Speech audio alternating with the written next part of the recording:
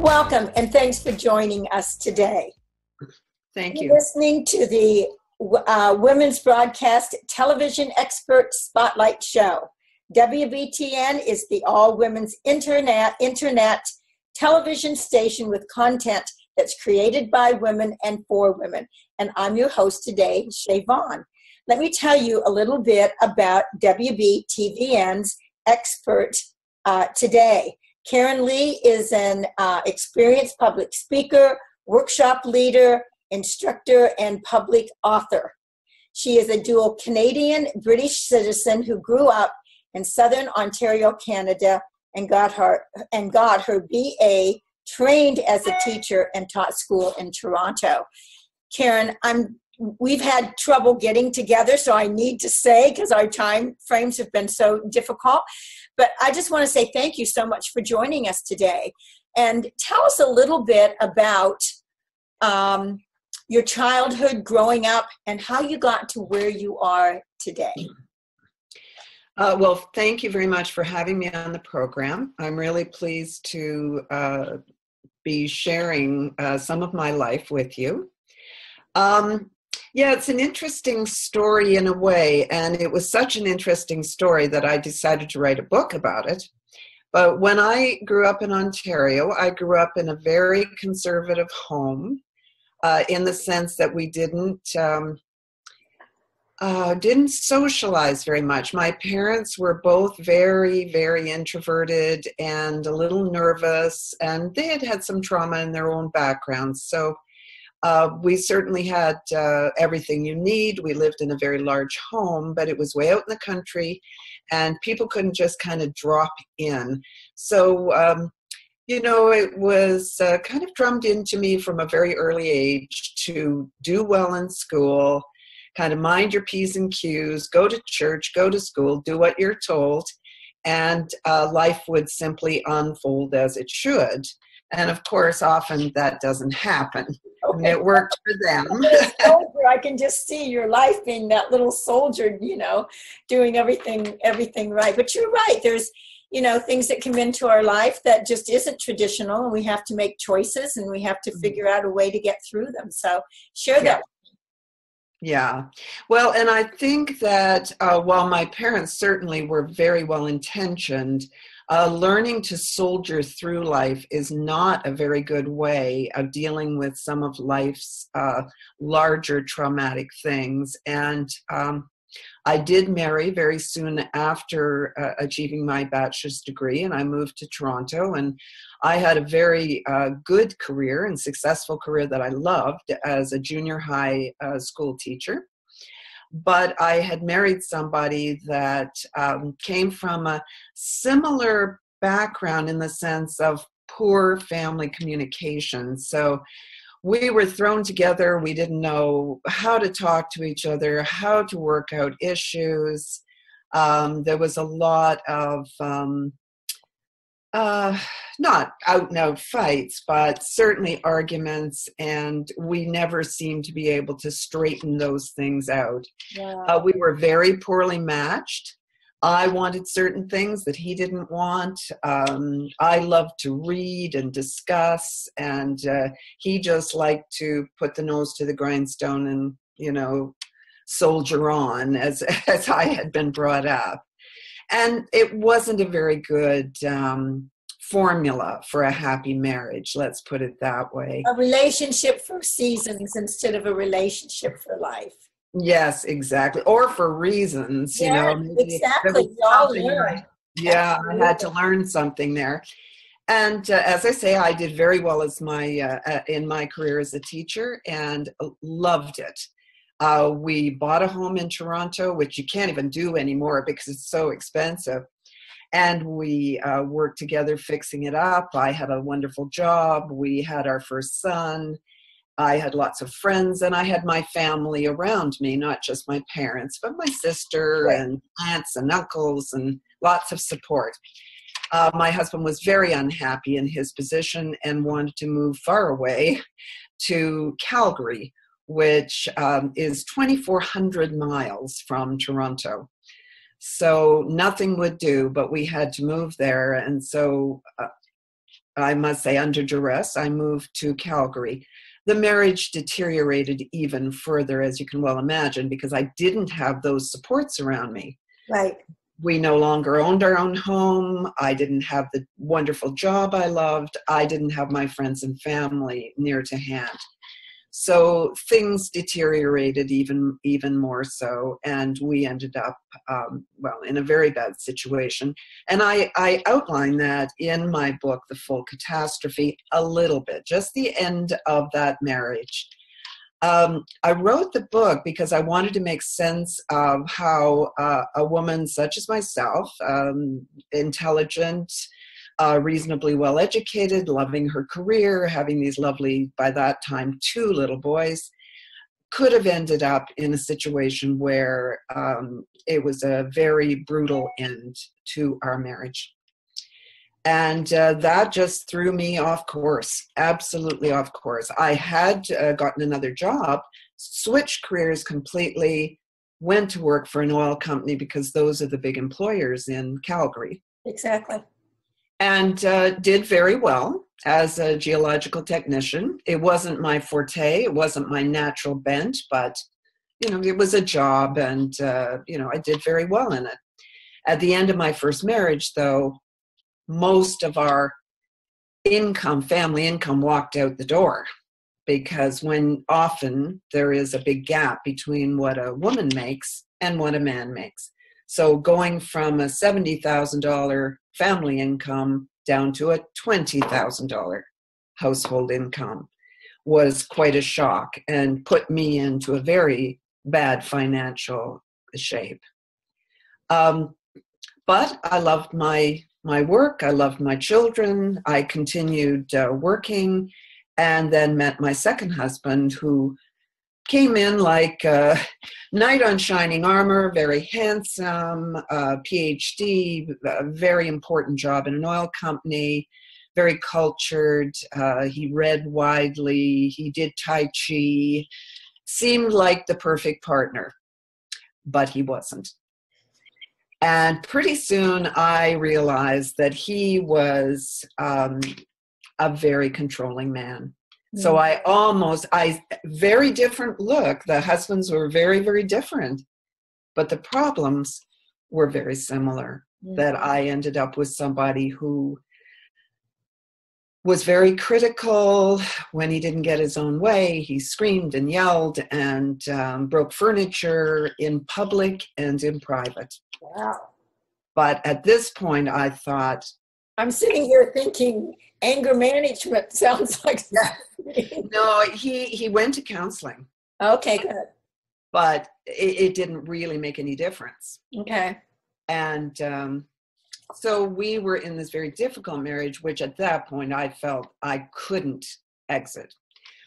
The good thing was he supported me in going back to university and becoming a psychologist. That's so i became a chartered psychologist in alberta and uh, we had our own business. Uh, so he was my business partner, oh. and we did a lot of um, consulting to large organizations. We were very successful.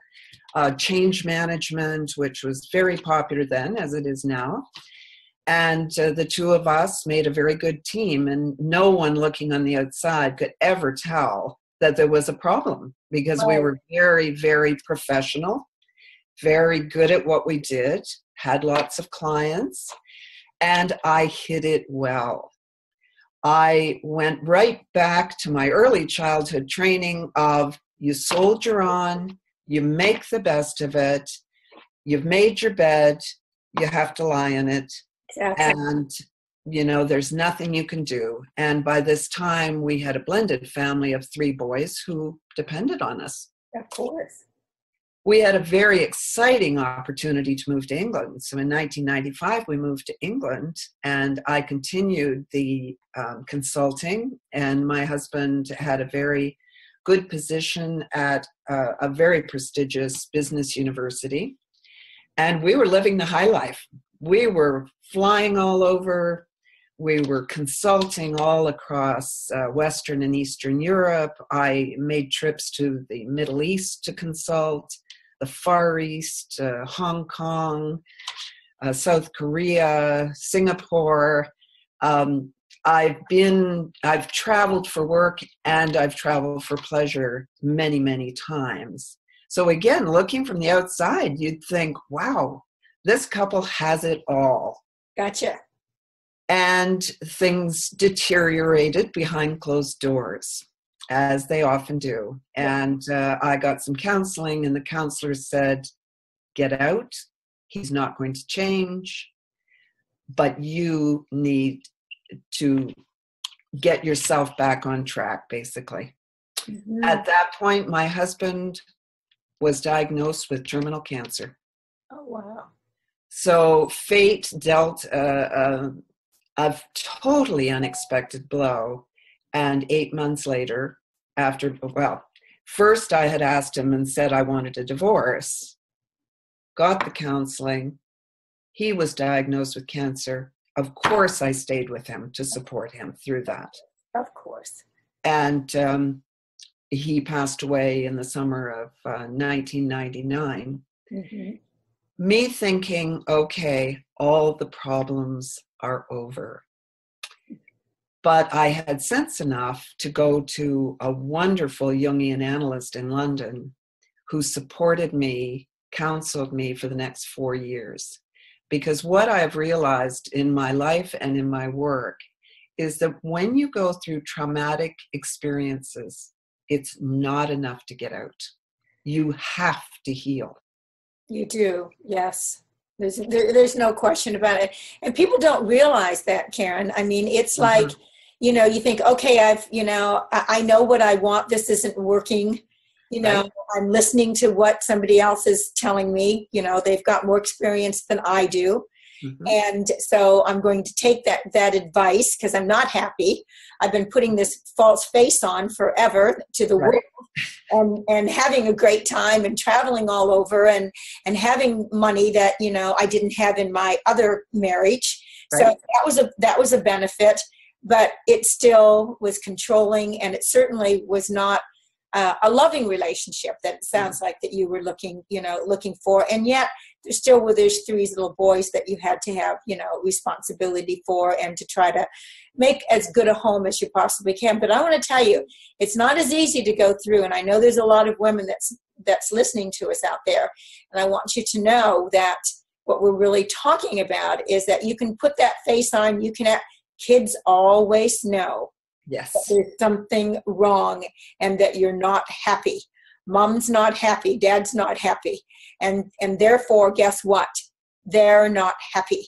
And we're teaching them how to put up with something that doesn't need to be. And many times we do it for all the right reasons. And part of that is, well, they're going to get, you know, I'm, I can get through this. They're going to grow up. They're going to get, you know, a little bit older. It's going to be easier.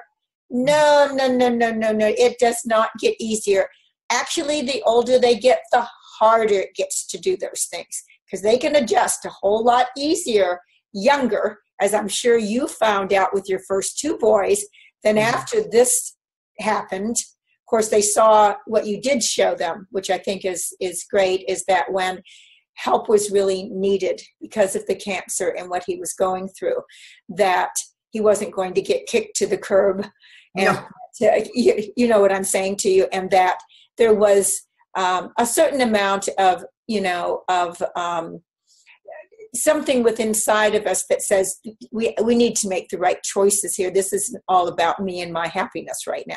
That's right.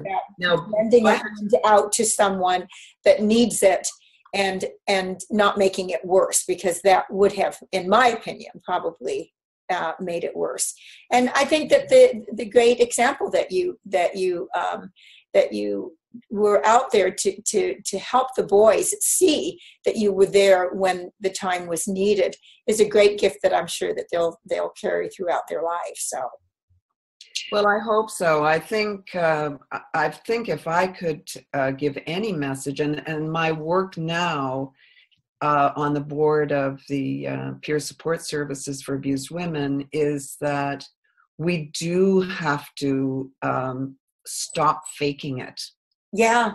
We do need to look really at what our lives are about And if we're in a very, very difficult to the point of abusive marriage, we need to make those decisions that are good for ourselves because ultimately, yes, the children do notice. Now, by the time my husband passed away, our boys were pretty much, you know, in university and, and on their own. Um, but you're right, I still had their well being that I had to take into consideration. Absolutely. And I also had to be able to look myself in the mirror and say, I didn't abandon him, though I might have wanted to.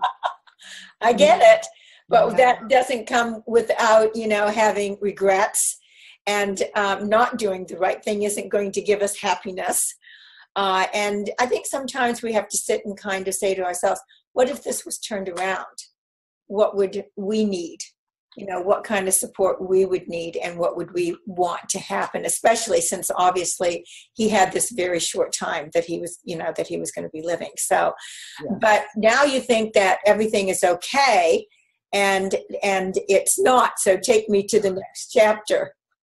Well, I realized by the time he did pass away that I had undergone undergone so much. And um, I was basically in shock, to be quite honest. So I was mm-hmm. thrown into widowhood, which is difficult enough as it is. It is. But also, the realization had already hit me before he was ill that I needed to get out, that this was an abusive marriage. And so I realized that I needed help and I needed to heal because I'll tell you, I was very, very frightened that I might pick another. Exactly. Your record wasn't real good No, it wasn't. And the first go around, the first time uh, I was married and my husband left, I was in such turmoil, such shock that I didn't stop to make the obvious decision that I needed to heal yeah. I didn't heal. I didn't. I went not that. I mean, I didn't marry for another three years, but not that, nonetheless, I did not heal before I married my second you husband. Give your time. You didn't give yourself time enough to. It's healing, but it's time. It's time that we need to take sometimes to just be on our own, really understand what it is that we're looking for.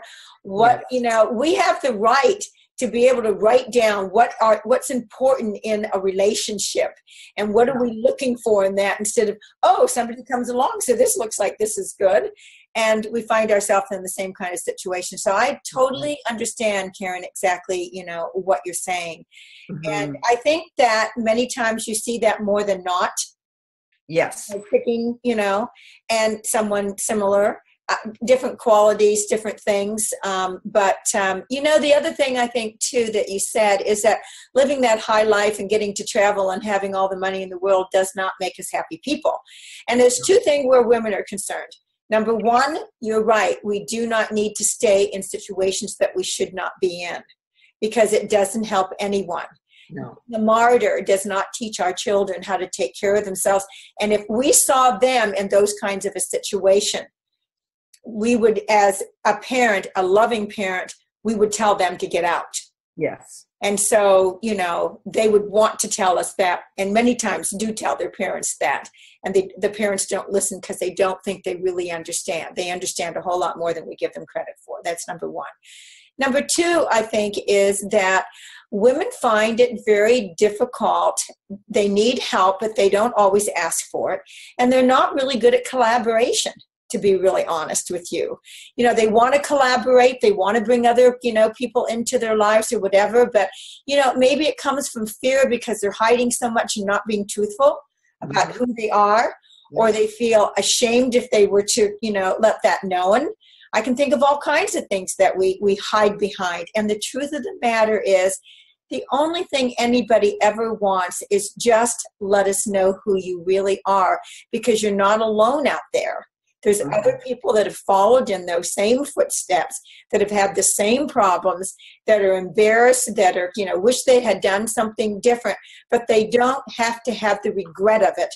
If they can learn how to forgive themselves, actually helps them to learn how to forgive others, and that's even more important.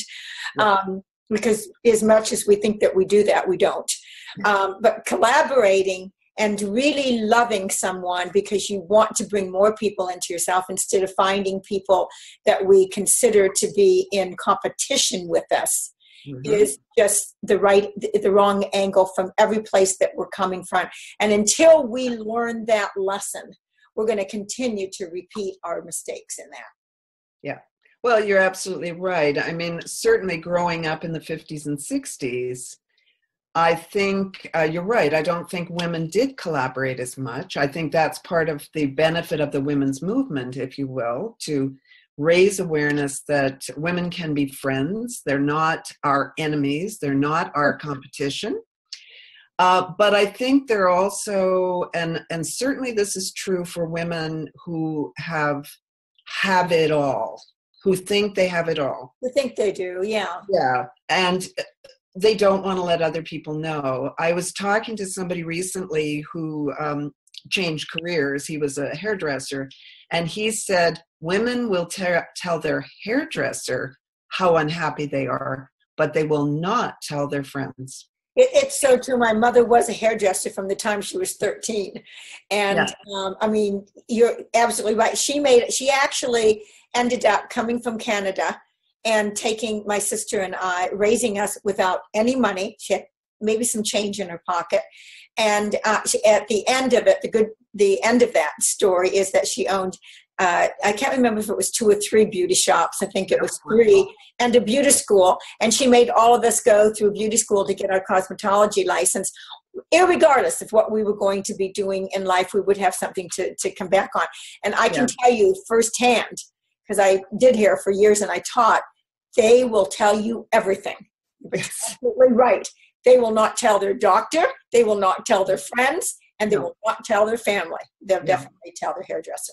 Yeah, there's actually, oh, sorry, there's actually been a very good research book uh, done by a woman, uh, PhD psychologist in Chicago, called Not to People Like Us. Exactly. Meaning, if you are in this envied position of a lovely home, a full length mink coat, uh, an exciting career, lots of travel, your children are in good schools, the assumption is no abuse could possibly be happening in that house. Yeah, exactly. And but it's as likely to happen as a, a poorer person exactly. And uh, we never know what goes on beyond behind closed doors no. anyway in every no, kind of situation. But uh, you know I, I know that we're running out of time. I just i love your story.